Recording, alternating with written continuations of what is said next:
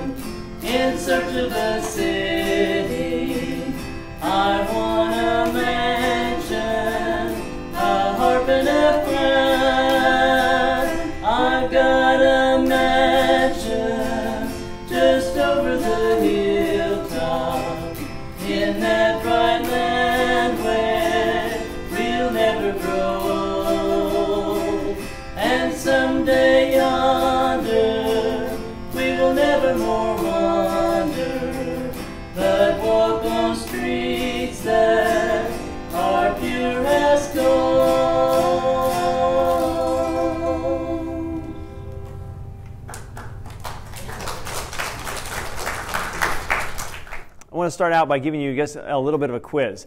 I'm going to put up in um, some song titles, but I'm going to do them as though they were newspaper headlines. Okay? So if you were to, uh, these will be familiar songs to you. Okay, ones that you probably most of you will recognize uh, the song, maybe not by its, its title, but see if you can figure out what song it's talking about when we um, when we put up the title. So let's go ahead and put up our first one for us here. I'm going to stand over on this side. Storm sinks ship on Lake Superior. Can you guys think of what song this would be referencing? Go ahead and shout it out if you know. The Edmund Fitzgerald. Yeah, the wreck of the Edmund Fitzgerald. If you guys have heard that song, it's a song from, from quite a while ago. Okay, let's go with the next one here. Man with odd name confronts his father. Boy named Sue. Right. Okay. Yeah, by Johnny Cash. All right, next one here.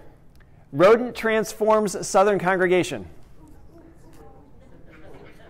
The, the Mississippi Squirrel Revival, yeah, or the day the squirrel went berserk. People used it, yeah, by Ray Stevens. Okay, for those of you who've heard that, very funny song. All right, next one here. Poker player dies in rail car. The Gambler, yes, yeah. Yep, Kenny Rogers, okay. Ne- next one here, okay. Uh, timid man avenges wife in bar fight. Coward of the County, also Kenny Rogers. Right, very good. Boy, you're, you're rocking this here. Very good. All right, Franklin's nailing these things. All right, here's another one here. Miner saves coworkers from cave-in. Big John, or Big Bad John, yeah, by uh, Jim, Jimmy Dean. All right, now here's another one. Appalachian family finds riches on homestead. Beverly Hillbillies, but that's not actually the title of the song. The title is The Ballad of Jed Clampett. Okay, I put up there the artist, which was Flatt Scruggs, but it was actually written by a guy by the last name of Henning. Okay, now I saved that one for last specifically because it uses a term in the title of the song.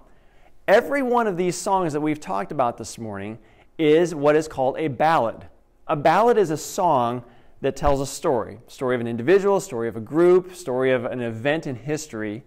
Okay, is a ballad. Now, some songs, you know, celebrate all kinds of different, you know, feelings, emotions, events, whatever. But this, specifically a ballad, is a song that tells a story. This morning, we are going to be in Judges chapter 4 and 5. You can begin turning there in your Bible. Some of the verses will be on the screen, but I'm not putting the entire of both chapters up there. It's too long to do so. We're not going to read everything, but I want you to have the context. So if you have your Bibles open, that will be helpful. Now, the difference between chapter 4 and chapter 5 is the difference between the two lines that I had for each of those slides. Okay? The top line was like the newspaper headline. That's chapter 4. Chapter 4 is narrative, it's prose. It's like a newspaper report or magazine article that tells a particular story. Chapter 5 is the ballad. It is a song, a poetic way of expressing the exact same thing. So it's the same story told two different ways. Both of them are accurate, both of them are, are truthful, but they're going to look a little different. We're going to spend most of our time in chapter 4, and I'm not going to sing chapter 5, don't worry. But we are going to reference a few things from chapter 5 because the song actually fills in a few details that we are missing from chapter 4. Now, that was just setting the context for kind of like what we're going to be looking at, but that's not the lesson that we're going to get. The lesson that we are going to get is about the call of God. When God calls you, how are you going to respond? And what we're going to do is we're going to look at two different guys and we're going to look at two different ladies and how their story weaves together, but this is all teaching us one lesson, and that is how are you going to respond when you hear the call of God? Now, when I hear, say the call of God, don't think necessarily just the call of God as in He's calling me to go someplace. I mean, that could be. But when you hear a word from the Lord, a message from the Lord, how are you going to respond? When God says, I want you to do, stop, do, go, stay, return, you, you could fill in the blank with what verb God's going to put in there for you that He wants you to do. How are you going to respond when God calls? Okay? So now let's go ahead and start. We're going to start in chapter 4. I'm going to probably be a little more dependent on my notes this morning than I normally am. Um, chapter 4, and I want to read you verses 1 through 3. Then the sons of Israel again did evil in the sight of the Lord after Ehud died. And the Lord sold them into the hand of Jabin, king of Canaan, who reigned in Hazor. And the commander of his army was Sisera, who lived in Harosheth Hagoyim. The sons of Israel cried to the Lord, for he had 900 iron chariots, and he oppressed the sons of Israel severely for 40 years. Now, if you remember last week, uh, we talked about this cycle that is repeated in Judges. Uh, the first step in the cycle, which we have on a diagram up here, is when Israel sins. Israel is sinning, and then God sells his people or hands them over to a foreign oppressor who, who treats them severely. And then step three is the people cry out to God for help. That's what we just covered here in verses 1 through 3, is those first three steps in that cycle. Um, now, to get a feel for what the, par- the people are experiencing, it talks about how they were oppressed, but we don't really get a feel for what that emotionally feels like in chapter 4. But now let's look at chapter 5, and I want to get a couple of verses here that are going to tell you a little bit more of the situation. This is chapter 5, verses 6 through 8. In the days of Shamgar, the son of Anath, in the days of Jael, the highways were deserted. The travelers went by roundabout ways, and the peasantry ceased. They ceased in Israel until I, Deborah, arose, until I arose, a mother in Israel. New gods were chosen. Then war was in the gates. Not a shield or a spear was seen among 40,000 in Israel. Now, this tells you a little bit of what it was like. People were fearful of going out of their homes. If they're going to travel, they're not taking the main roads. They're going to go by the side roads and other places where they um, they're less likely to be seen. It says the peasantry ceased. So people may have been even afraid to go out and to tend their animals and farm their fields because these enemy oppressors were around.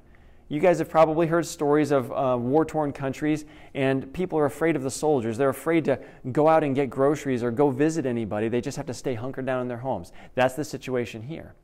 And it also says that new gods were chosen. Remember, Israel, their sin was often idolatry.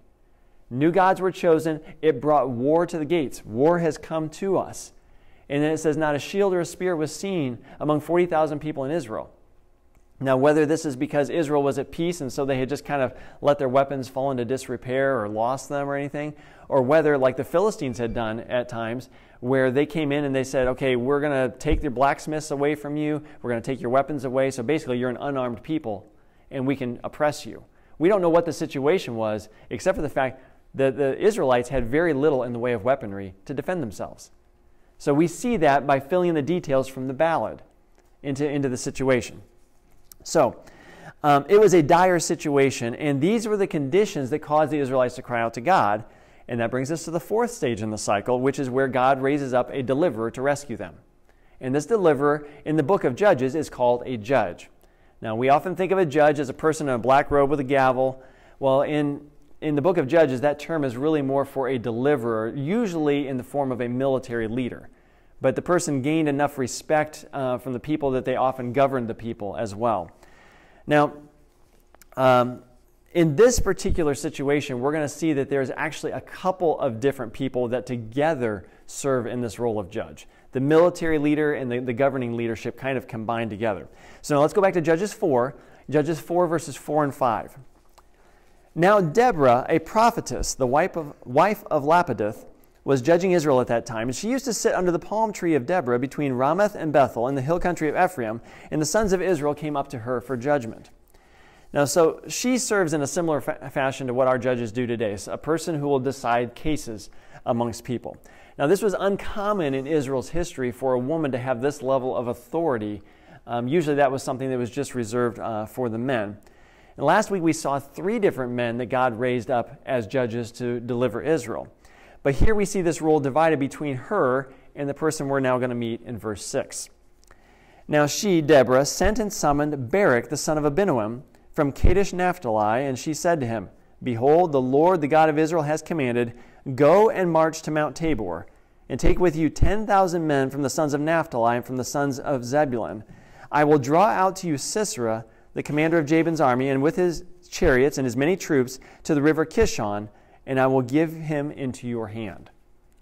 So here we're introduced to the person that God has chosen as a deliverer, the military portion of this leadership role, and his name is Barak, okay, or Barak. I'm not exactly sure how you pronounce it. I'm going to call him Barak. Um, and victory was assured for him. God says, This is what I'm going to do. Uh, it's a dangerous task, but it is a, one that, if he's successful, is going to gain him you know, great honor. Of course, the Lord gets the honor, but he's going to be honored along with the Lord in that because the victory was assured. And so, along the way, this morning, what I'm going to do is I'm going to give you some little points to remember about when God calls you and how we're to respond. Now, this is the first one is that God's call is clear. God's call is clear. There are times when we may be a little uncertain on what God wants us to do, but there's always things that are certain about what God wants us to do. And here, there's no ambiguity. God is calling him to go. He tells him where to go, whom to approach, how to, you know, whom to recruit, how many people. He explains how the enemy is going to respond to their movement. So he's actually got um, intelligence and orders, even a promised outcome. And so you'd think Barak is going to jump at this opportunity, right? But keep in mind the enemy he's facing It talked about this guy who had these uh, 900 iron chariots, right? Now, this is, historically speaking, this is the end of the Bronze Age and the beginning of the Iron Age. So, iron chariots was a step up technologically. Um, the Israelites were primarily an infantry kind of army, they're marching soldiers. And so, this would be like an armored division coming up against the infantry, to put it in our modern terms. And these iron chariots, one of the commentaries I read, uh, if you guys remember the movie Ben Hur, okay, some of those chariots had these spikes sticking out of their wheels like little swords or knives. And so as that wheel is turning really fast, it's like a blender. And so if you can imagine 900 armored chariots with knives sticking out of the wheels, if they're going to go into the infantry, they're just going to mow them down like a, like a farmer with a bush hog taking down weeds. And so this is a, an intimidating situation for Barak to say, I, am going to go to go to do what? What do you want me to do? And so he was faced with a decision. Am I going to focus on God or am I going to focus on my enemy? Am I going to focus on the Lord or the weapons? You know, it, what God has said or what I'm seeing before me here? Uh, now, did you notice how God's message was prefaced um, back in verse 6? It doesn't say, The Lord is asking you, Barak, are you willing? The Lord is looking for a volunteer to step forward. That's not what it says. God has commanded you.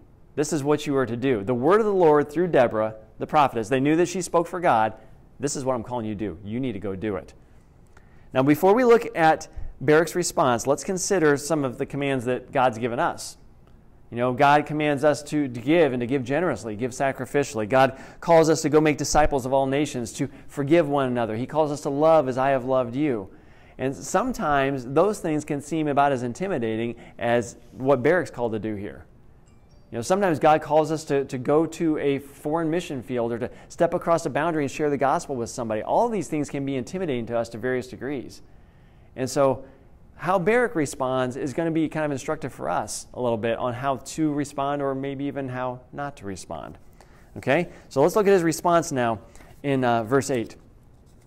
Then Barak said to her, If you will go with me, then I will go, but if you won't go with me, I will not go. She said, I will surely go with you. Nevertheless, the honor shall not be yours on the journey you are about to take, for the Lord will sell Sisera into the hands of a woman.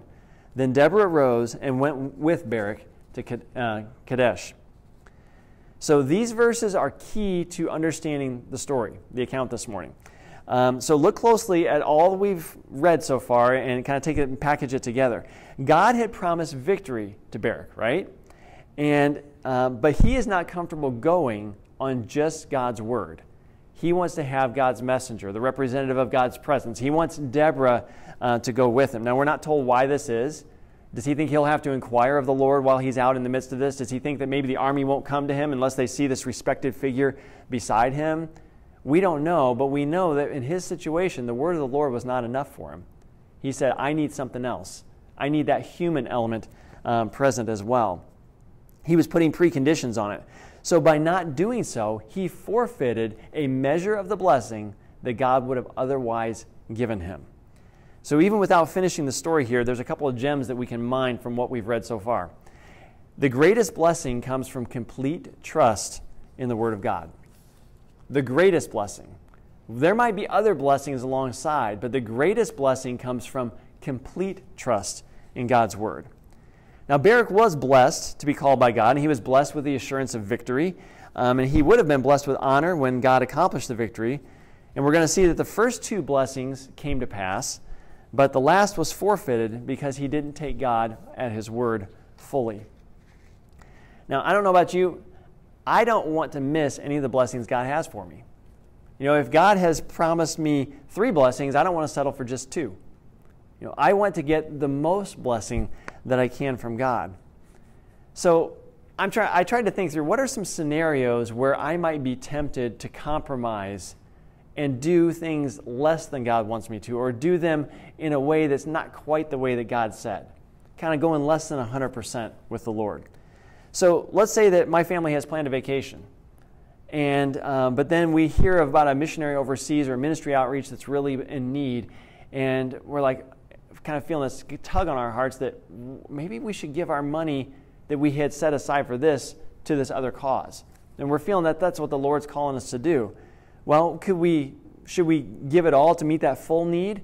Or would it be like, well, okay, let's just take a two day vacation instead of a four day vacation and we'll kind of help with the need but not help all of it? You know, and not that that's a sin to do so, but if God's calling you to do one thing and you do the other, then it is a sin, right? Um, or God calls me to volunteer in a ministry or a community endeavor, and I think, that's great. I really do want to support that, but I'm going to write a check to that instead. And I'm, I do not want to actually show up and get my hands dirty and Maybe there's a blessing that God has for me in a relationship, a person He was going to bring across my path. And I'm going to forfeit that blessing because of the fact that I didn't want to actually participate in the ministry. I just give money. Because for some of us, We've got a lot more time than we have money. Some of us have more money than we have time. And so we're willing to sacrifice the thing we have a lot of, but not the thing that's a little bit more precious to us. Right? So I'm just just a couple possibilities, and I don't know what call that God has placed on your life, what thing He is telling you to do, but don't stop short of the full blessing that God wants to give you. Um, another principle to remember is that God's plans don't need our modification. Another way you could put this is that God's word doesn't need an editor. You know, if God said it the way He said it, that should be enough. I shouldn't have to go in with my little red pen and, and edit out the parts that I don't like and say, I'm going to add in this and, and make this a little bit different. So let's go back to the story, though. Barak assembles uh, his troops in, in verse 10, and let's now jump to verse 12. Then they told Sisera that Barak, the son of Abinoam, had gone up to Mount Tabor. Sisera called together all his chariots, 900 iron chariots, and all the people who were with him, from Harosheth Hagoyim to the river Kishon. Deborah said to Barak, Arise, for this is the day which the Lord has given Sisera into your hands. Behold, the Lord has gone out before you. So Barak went down from Mount Tabor with 10,000 men following him. The Lord routed Sisera and all of his chariots and all the army with the edge of the sword before Barak, and Sisera alighted from his chariot and fled away on foot. But Barak pursued the chariots and the army as far as Harosheth Hagoyim, and all the army of Sisera fell by the edge of the sword. Not even one of them was left. Now, I don't know if this is the spot that I had the picture of Mount Tabor in there, but if, if you might have seen that. It's, it's hard to drive a chariot on the side of a mountain It doesn't work so well. So when they gathered at Mount Tabor, that was a safe position. But God says through Deborah, go on down. Go on down into the plains, the flat area, and go towards the river. And that's where I'm going to draw Sisera out to you. God had promised, I'm going to bring the enemy to you. You go out. But this was a dangerous situation for them. But the narrative gives us a basic outline of the victory, but the ballad paints this in a lot more vivid hues for us. So I want you to see something from uh, chapter 5 that will give us a little more insight into how this battle went down. Chapter 5, verses 19 to 21. The kings came and fought. They then fought the kings of Canaan at Taanach near the waters of Megiddo. They took no plunder and silver. The stars fought from heaven. From their courses they fought against Sisera. The torrent of Kishon swept them away, the ancient torrent, the torrent Kishon. O my soul, march on with strength. Now, because this is poetry, you know, a song, this is a little hard to kind of navigate through, but I want to point out something here that the stars were fighting, nature was fighting against them. Something from up above was coming down on those below.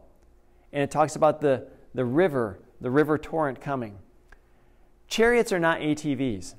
They don't work well in mud. You don't go mudding in a chariot, right? Those things are going to get caught. The, wheels are narrow, and so, if the Lord brings down rain and raises the river level, it's going to be a muddy, flat plain there. And there's no way that those chariots are going to operate. So, the technology that Sisera apparently was depending on became useless because of what the Lord did. Can't always predict the way that God's going to do things, can we? And so the chariots became useless. The soldiers had to get out and fight, and Israel was able to rout them. It says that not a single one was left, except Sisera he ran away, but we'll find out what happens to him in just a little while. From a human perspective, it looked like nature was fighting against them. Um, and this reminds us this, the way this battle played out, we may not know how it will happen, but God will always keep his word. God is what I call the God of left field. You've heard how, man, that came out of left field. I didn't expect that. God seems to me to take pleasure in doing things that we cannot have predicted, that we couldn't have expected to show how great He is. We might think, oh, God could come through in this way, or God could come through in that way, and then God does something clear out of the blue that we never expected. That's exactly what He does here. So we've seen how God kept His word on the victory. Now let's see how God kept His word regarding the matter of honor.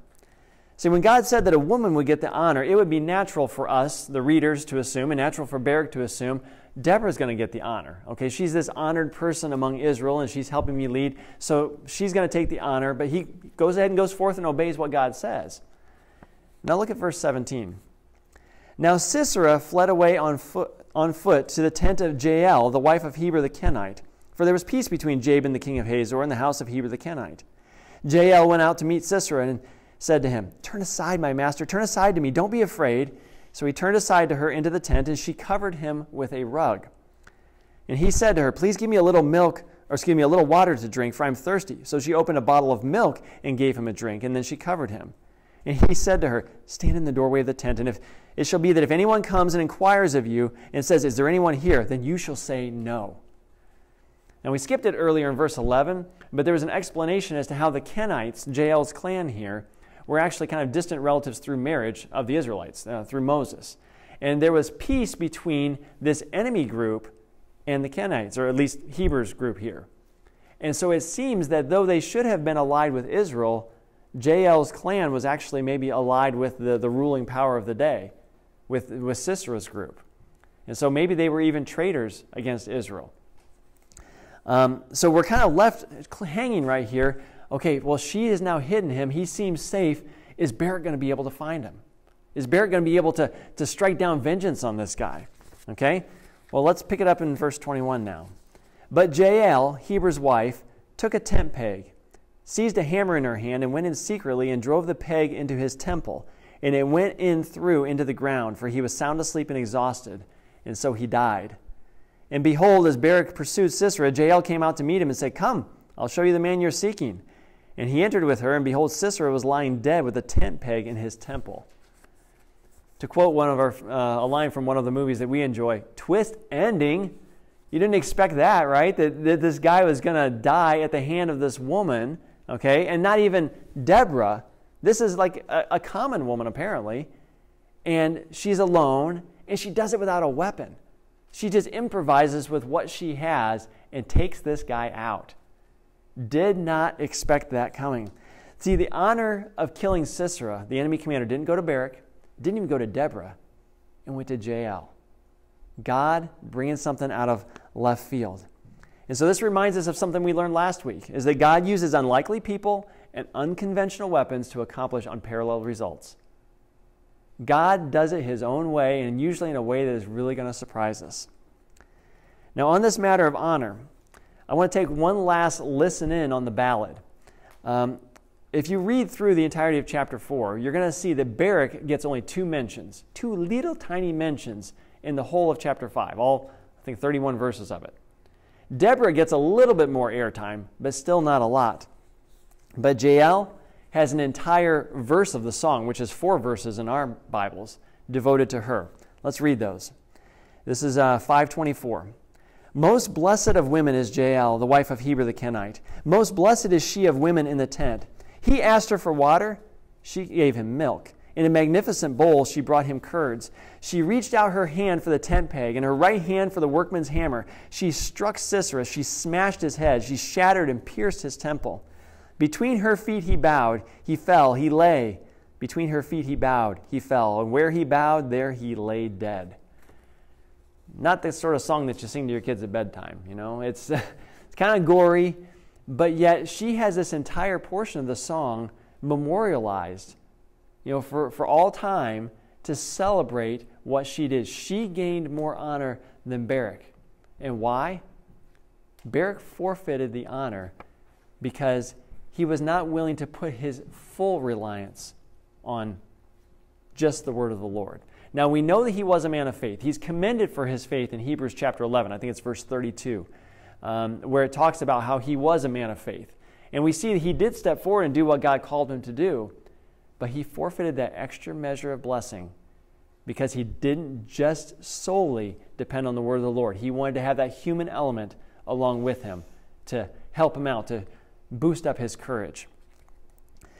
So, as we zoom out and take in both of these chapters with a wide angle lens, I want you to look at the lessons that we've uh, saw along the way and then look at what is our response to God's message as well.